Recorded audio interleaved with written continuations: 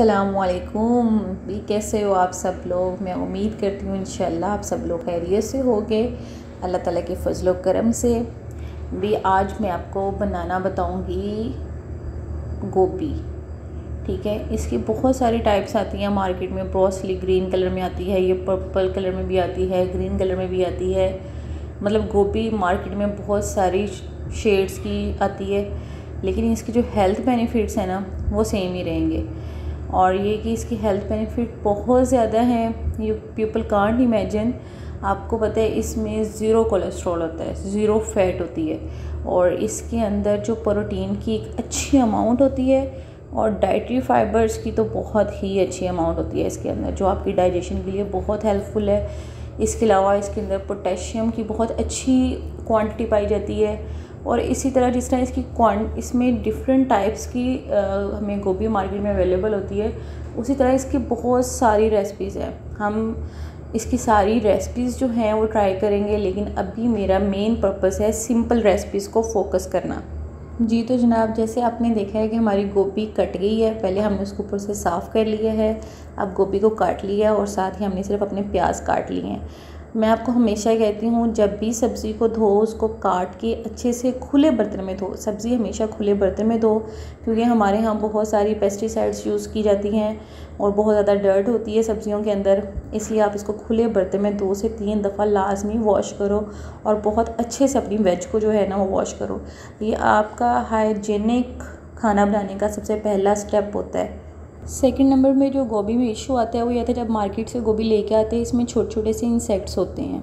उसके लिए आप पानी में तीन चम्मच हल्दी डालें और गोभी को काट के उसमें डिप कर दें। उसके बाद उसको अच्छे से वॉश कर लें, वो रिमूव हो जाएँगे नो इशू ऐसे ही हम अपने प्याज जो हैं, उनको भी वॉश कर लेंगे और उसके बाद अपनी रेसिपी स्टार्ट करेंगे। लेट स्टार्ट आवर रेसिपी बिसमीम हम करें अपनी रेसिपी स्टार्ट पैन में आपने ऑयल ले लिए तीन चम्मच बड़े मैंने ऑयल के लिए हैं और दो मीडियम साइज़ के प्याज लिए हैं, ठीक है? इसको काट के हमने क्या किया है? अपने ऑयल के अंदर डाल दिया है, ठीक है? जब तक आपके प्याज जो हैं वो पानी खुशक करेंगे, तब तक हमने इसको फ्राई करना है। ये देखें आपके जो प्याज हैं, वो वाइट हो गए हैं, इनका पानी ड्राई हो गया हुआ है। मैंने आपको मसाला बनाने की सबसे पहली टिप ये दी थी कि आपके ऑनियन के अंदर से पानी बिल्कुल ड्राई हो।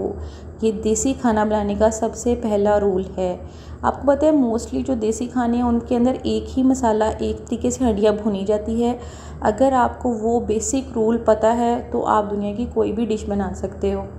अब जब प्याज का पानी खुशक हो जाए, आपने क्या करना है, इसमें एक चम्मच ज़ीरा डाला है, छोटा चम्मच, और एक चम्मच जो है, वो आपने सूखे धनिए का डाल दिए। अब आपने इसको करना है फ्राई जब तक ये दोनों चीज़ें आपकी फ्राई होंगी आपने तब तक इनको फ्राई करना है जब तक आपको इसकी फ्रेगनेंस आनी स्टार्ट हो जाए। मतलब धनिए की और ज़ीरे की खुशबू आए आपको, ठीक है? ये आपको मैं इसलिए बार बार रिपीट करती हूँ कि आपका अगर हंडिया का मसाला अच्छा बना होगा, आपका खाना ऑटोमेटिकली अच्छा बना होगा, ये हंडिया बनाने का सबसे पहला स्टेप है। अब देखा जैसे ही आपके ज़ीरे की आपको खुशबू आना शुरू हो जाए, सूखे धनिए की आपने लहसुन अदरक का जो पेस्ट है, वो आपने इसके अंदर ऐड कर देना है। मैंने एक छोटी गट्टी लहसुन की ली है और एक छोटा पीस जो है वो अदरक का लिया है और दो सब्ज़ मिर्चें लेके उनको पीस लिए है और वो हमने उसके अंदर ऐड कर दी हैं। अब हमने इसको तब तक फ्राई करना है जब तक ये लाइट ब्राउन हो जाए।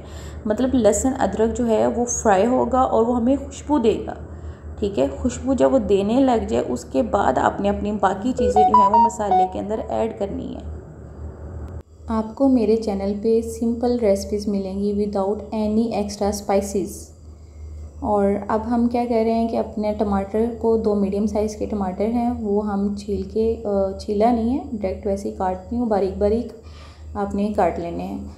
एक्चुअली मैं बर्तन बहुत कम यूज़ करती हूँ खाना बनाने वक्त। ये बहुत सारे लोगों का क्वेश्चन भी है कि आप अलग अलग कटोरियों में क्यों नहीं रखती?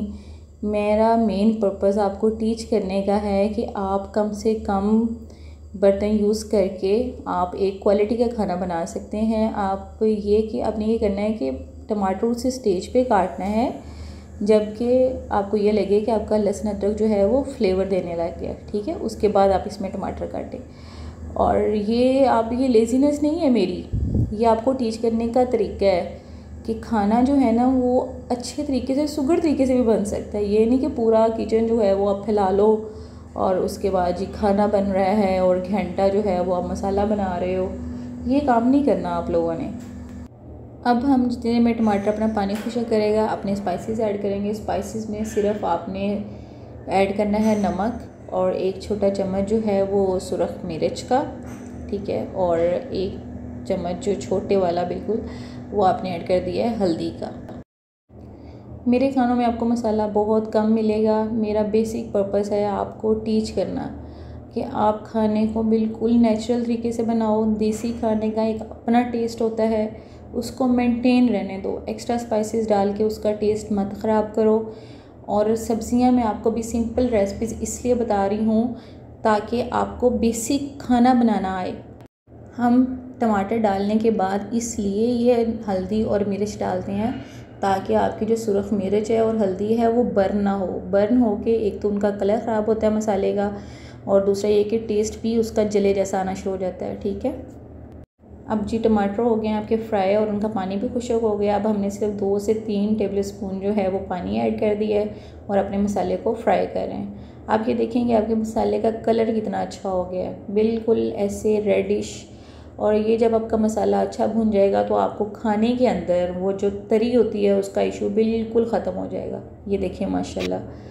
अब हम अपनी गोभी ऐड कर रहे हैं। इसके अंदर जिसको हमने धो के अच्छे से रखा हुआ था, वो आपने इसको ऐड कर देना ऐड करने के बाद आपने क्या करना है जी? गोभी को फ्राई करना है थोड़ी देर के लिए। आपने ना थोड़ा सब्र रखना है। आपके साथ हर तरह की डिशेस शेयर करूँगी मैं। चाइनीज़ भी, इटालियंस भी, पिज़्ज़े, बर्गर, फास्ट फ़ूड, सब कुछ।